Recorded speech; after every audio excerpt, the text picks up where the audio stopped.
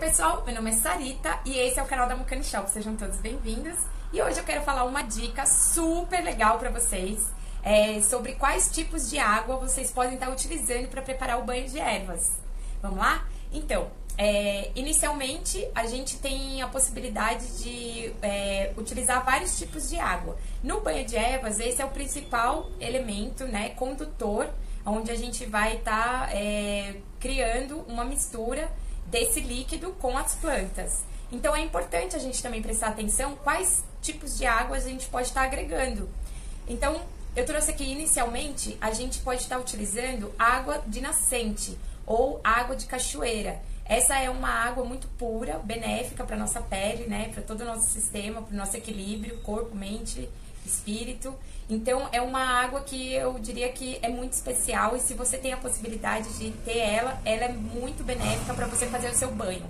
Agora, se você quiser se conectar com uma parte mais é, de limpeza, de descarrego, é, você pode estar utilizando as águas do mar. Então você né, vai trazer isso de algum lugar de alguma praia e aí você coloca ela no lugar da, da sua água convencional aí, né? Que seria a sua água da torneira, né? Então, no caso de você estar tá utilizando a, a água do mar, você vai estar tá se conectando mais com esse elemento que é o elemento principal é, aqui, né? Que rege todo o nosso sistema do planeta.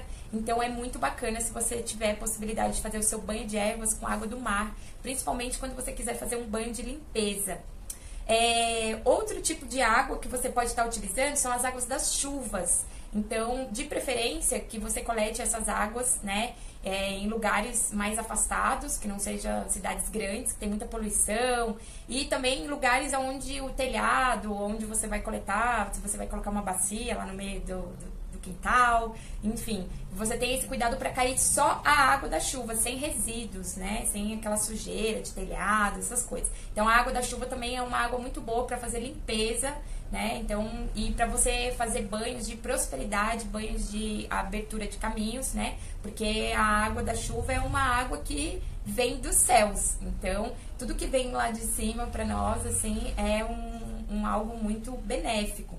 E uma outra possibilidade que vocês podem estar utilizando são é, água de coco.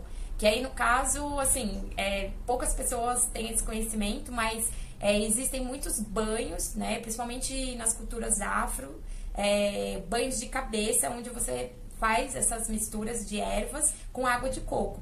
Então, se você quiser tomar um banho, né, e colocar água de coco, você vai estar se conectando com a energia maior de Oxalá, uma energia que traz uma espiritualidade é, um caminho mais espiritual dentro desse banho de ervas.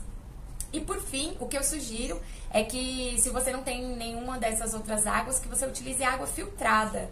É, então, é uma água direto da fonte, né? Uma água que você pode estar comprando de garrafinha, 2 litros, 5 litros.